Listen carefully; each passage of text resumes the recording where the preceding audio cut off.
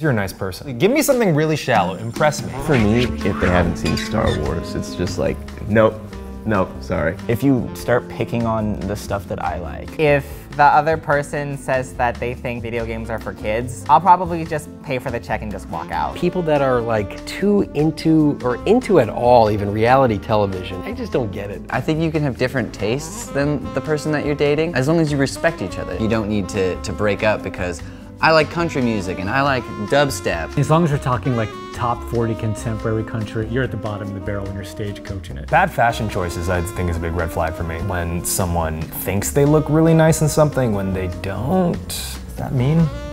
Yeah. Yeah, that's kind of mean.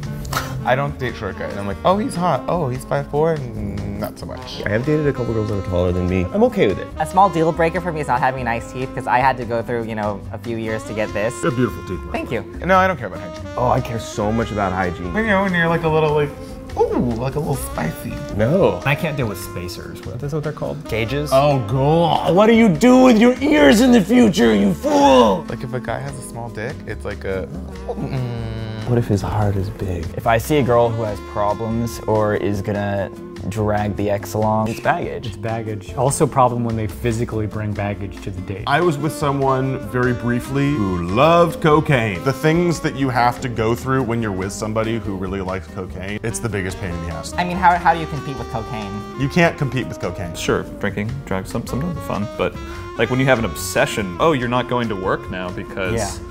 You, you're doing too many drugs, that's an issue. Also, if you hate gays, that's no good. You have a lot of other problems if you're racist or homophobic. I would say no to a racist. I mean, if they're hot, I'm just kidding. I really hate when people try to tell me about my own culture before I say anything about it. Don't tell me how much you know about kimchi. When they're not nice to their friends, It's a good indicator of how they'll be within the relationship. I'm a very social person, so I like somebody that is just as social. I have a few tests that I do with guys when I'm dating them. I'll have dinner with a bunch of friends and I'll take him along with me and then I will excuse myself to the restroom. If they're not talking and they're not conversing with somebody, it's like a turn off. I don't like people who are constantly on their cell phones. Like this. Do not keep your cell phone on the table during a date. I don't like if a girl expects me to pay for every single meal. I'm not a millionaire. Not A sugar daddy. Yeah, I'm not a sugar daddy. I can't even sugar you- myself. Something I've experienced out on the field is uh, something I'm calling emotional catfishing. Girls are looking so smiley in their photos, and then I've been on a date with them and they're just completely detached. You have to be a little vulnerable. I also don't like it when people touch my belly. Do you know what that is? I don't, uh, testing to see if my belly's strong, which Yes. it's not. I don't think I have that many deal breakers. At the end of the day, you're not gonna